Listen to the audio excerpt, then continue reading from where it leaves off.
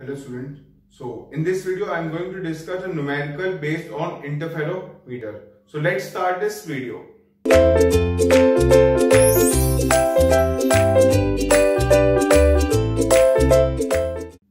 So I have written a numerical read out a tissue with a refractive index 1.33 is introduced in one of the light pipe of Michelson interferometer operating with monochromatic coherent light source of wavelength this. After introduction of tissue sample of thickness delta T, the fringes pattern is observed to shift by 50 fringes. If the thickness is 2 delta T, then the fringes pattern will be shifted by.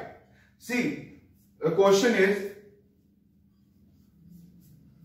if the thickness of a material placed in the uh, or the thickness of a beam splitter placed in in the path of light beam. That is delta t. Then the fringes crosses is 50 if the thickness of that material is 2 delta t then fringes will be shifted by then the number. Means see the information given is we have to find out the relation between the thickness and the capital N. So, we know that x is equal to 2x is equal to n lambda. Also, x is equal to me t mu minus 1. Now, put the value of x in this equation. So, 2t mu is the refractive index into 1 into n lambda. So, t is the thickness, mu is the refractive index, n is the number of fringes, lambda is the wavelength of monochromatic light. So in this problem, we have replaced only that material or that thickness of the splitter or the beam splitter has been changed. If thickness is delta T, fringes observe, if the thickness is increased, the same beam splitter is used, but this time the thickness of this material is 2 delta D. Then we have to calculate the number of fringes processed. So from this relation, every refractive index of material is constant wavelength of monochromatic light is constant. So thickness is directly proportional to n.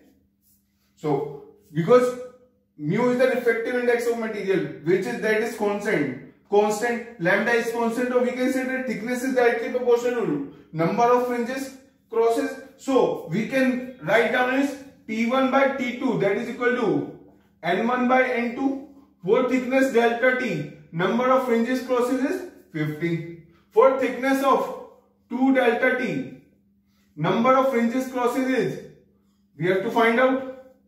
So, delta t, delta t gets cancelled, n2 is equal to me. This 2 will get multiplied by 50. So, we will get n2 is equal to me 100. So, number of fringes crosses, that is equal to thickness. If the now, number of fringes crosses is equal to 100, if the thickness of material is become twice, means if the thickness is 2 2 delta t. Rest of the parameters are constant means refractive index of medium uh, material is same as well as the wavelength of monochromatic light is constant and number of fringes crosses that is comes out to be 100. Thank you.